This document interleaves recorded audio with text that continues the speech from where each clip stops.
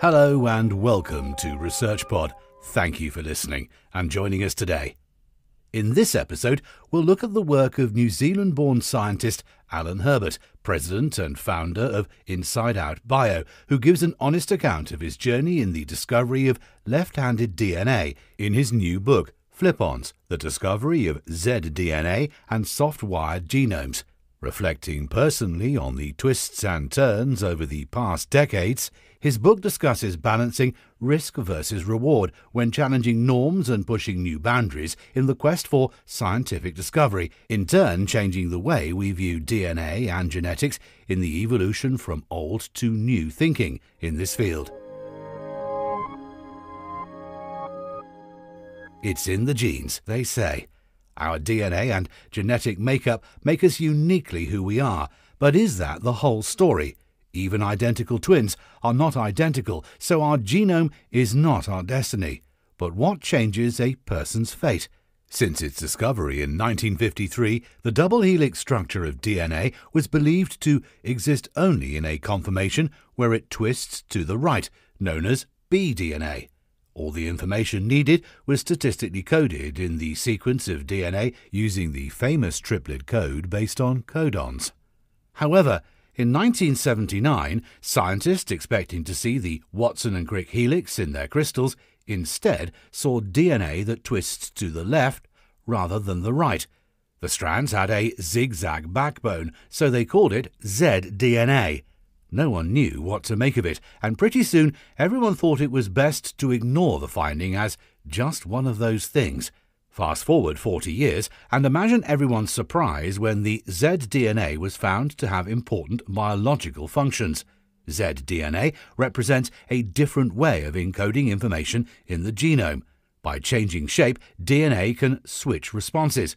The DNA sequences that flip from one conformation to another are called flip-ons. Where codons are static and fixed, flip-ons are dynamic and change shape to alter the way RNAs are made from our DNA.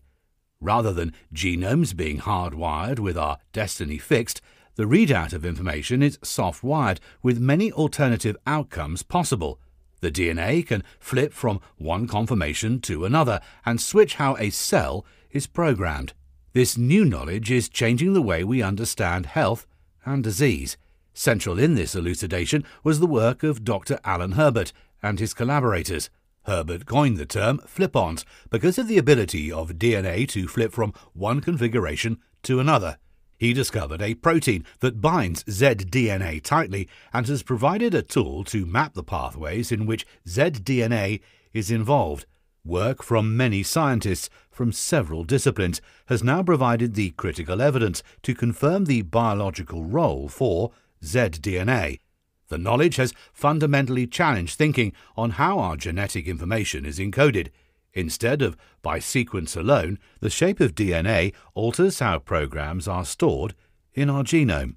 In his book, Flip-ons, The Discovery of zDNA and Soft Wired Genomes, Herbert now gives an open and unfiltered account of his journey to this scientific discovery, describing the challenges faced and discussing the importance of risk taking to progress science. The chance discovery of zDNA in 1979 created a major hype, with speculation growing as to the role of this left handed DNA in biology. However, over time, skeptics began to conclude that zDNA did not have a biological function and wrote off any significance, sometimes quite harshly. Who cares if you can twist right handed Watson Crick DNA the opposite way? The relevance of zDNA was repeatedly challenged, with this area of research often viewed as low priority. In a long journey, swimming upstream, Herbert persevered, and in a series of papers from 1993 to 1997, he and his collaborators discovered a protein that bound tightly to zDNA. Herbert called the left handed binding domain Z alpha. However, it was not until years later that he was able to provide genetic evidence in humans for a biological function, a finding rapidly validated by many other labs. Intriguingly, the Z alpha domain was found in an enzyme that can edit the sequence of RNA after it is copied from the genome, suggesting that flip-ons may dynamically switch the readout of genetic information. Indeed, it is the recognition of a left-handed form of RNA called zRNA that helps cells respond to threats from viruses and cancer cells. A key distinction of flip-ons that form zDNA and zRNA is that they alter a cell's programming by changing shape without altering the DNA or RNA sequence. In contrast, codons must alter their sequence to change a protein's function. Then the previous function is lost. Flip-ons allow many different versions to be made, with the context deciding on the one that is best for the job. Herbert's current work focuses on therapeutics that can change flip-on conformation to help fight cancers and on others that can reprogram cells therapeutically. Herbert highlights the age-old struggle in science between the old and the new. Science, whether good or bad, can be propagated through the literature and become the accepted norm. Any findings that do not fit the established norms are termed not relevant and often dismissed. The unorthodox ideas go unfunded. Herbert remarks in his book, the financiers are guided by their perceptions of what is possible. He goes on to discuss the time it takes for new ideas to be accepted. For example, it took considerable time for the scientific community to accept that alternative conformations like zDNA enable variations in the encoding of genetic information. Long before that, the concept that DNA itself is indeed the genetic material in our cells was initially refuted. Quoting Francis Darwin, Herbert notes in his book, It is always the case with the best work that it is misrepresented and disparaged at first, for it takes a curiously long time for new ideas to become current. Nothing ventured, nothing gained, and the scientific hierarchy Herbert's book discusses the dilemma scientists face when wanting to explore something different and higher risk with his belief that funders favour low risk projects. Proposing higher risk research may minimize funding chances with potential devastating career effects. However, stepping out of line, as he says, and taking risk can lead to significant discoveries with great reward. Researchers may therefore be pulled in both directions and feel conflicted when choosing to pursue unpopular projects. With those just starting out on their careers in mind, Herbert provides a survival guide to coping with all the challenges that arise when you take the road less travelled. There will be many surprises along the way, both good and bad, and no guarantee that the journey will be successful. Provided the odds are favourable, rolling the dice is the only way to be lucky enough to win.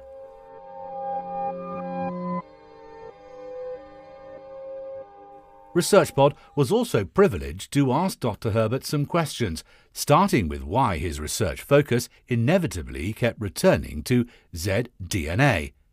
I thought that the question of whether zDNA had a biological role was interesting and important I also believe that people were mistaking an absence of proof for a proof of absence. At any one time, you can only do what you can do. It is important to choose the battles to fight where the odds are in your favour. That means having the methods to address the questions that are of the most interest to answer. I describe that history in the book. I was also lucky in a number of ways with the timing and that during the times I was working on something else, the zDNA and zRNAs field was not something biologists were actively exploring. Now, with the explosion of data and the analytical methods we have, it is possible to test many different hypotheses computationally and eliminate wrong explanations. That helps focus future experiments. By focusing on flip-ons, I have been able to explore many different fields and provide a framework for reinterpreting many of the earlier findings. Fortunately, in the age of the web, the papers generated are well indexed by search engines and can be found by searching with keywords flip-ons, DNA, RNA.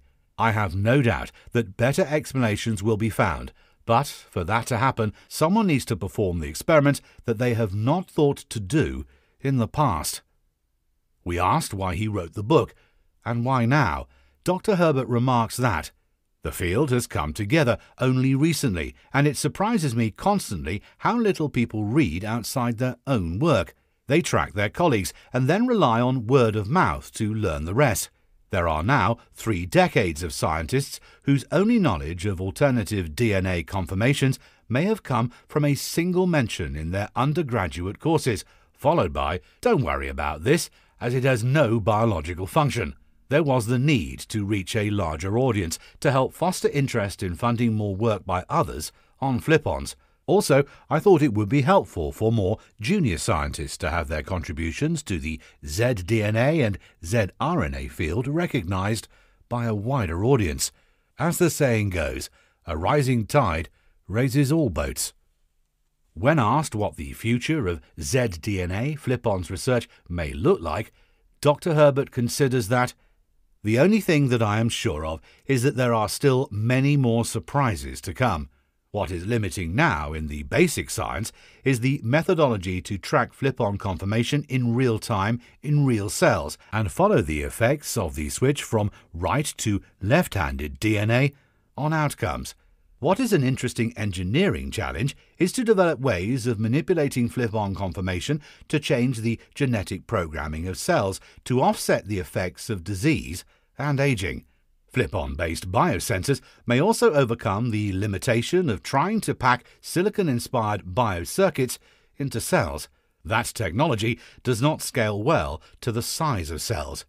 There are only so many of these types of logic switches that you can build into the confines of a cell. Contrast that with how a cell works using thousands of flip-on switches to program itself.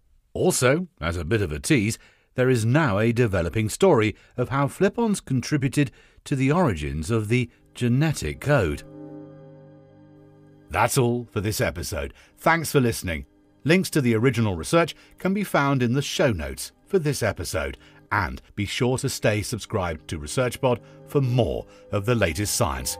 See you again soon.